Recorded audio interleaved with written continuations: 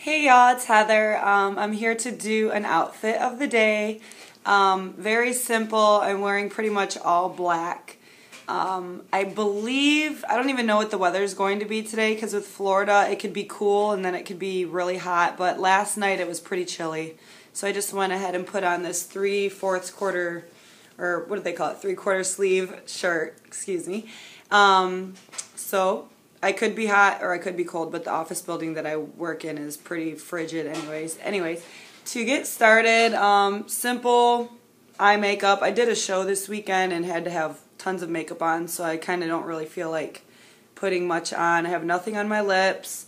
My earrings are just a simple, I think I get these from like New York and Company, simple black stones with a shine to them. Um, I'm wearing a turtleneck shirt from Bebe. It is stretchy and obviously you can see that there's like a pattern where you can see the skin through that goes through the top. not quite sure if it's on my back also. Yeah, it is. So just the top of the shirt.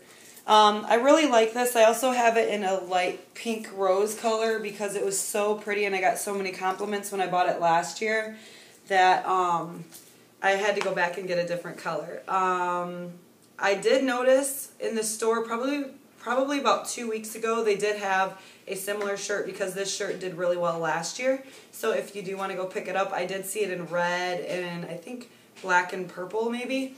Um, for bottoms, I just have this skirt that's slanted, very loose and flowy. Um, pretty simple. That's about it. Um, for my shoes, I have my Tory Burch Reva flats on with the um, gold emblem on them. And then for my watch, I could have worn my gold Michael Kors watch, but I wore this Betsey Johnson one, which is black. It has a rose gold. Um, I usually do not like to mix silver and golds, but I don't know. I feel like everybody does it now. I don't think it's like as much of a no-no anymore, but I haven't worn my Pandora bracelet in a while, so I just threw that on. But that's pretty much it. I'm going to be pairing that up with, if you can see on my couch, it kind of blends in my... Uh, Speedy 35 and the Damier Ebene print. And that is it, guys. I hope you have a great day. And I can't believe it's almost Thanksgiving. It's ridiculous. But I hope you have a great day. And if I don't put a video up before Thanksgiving, I hope you guys have a wonderful Thanksgiving. Um, portion control. Yeah, right. Just eat what you want and then go back to trying to eat clean. All right, bye.